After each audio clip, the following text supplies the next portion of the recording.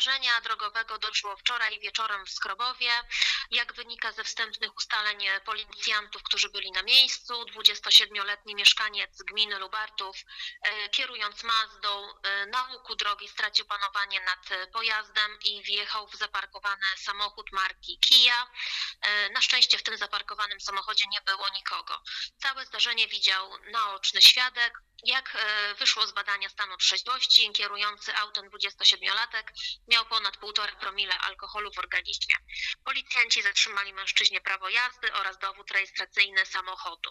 E, 27-latek odpowie przed sądem e, za kierowanie samochodem w stanie nietrzeźwości. E, Grozi za to do dwóch lat pozbawienia wolności.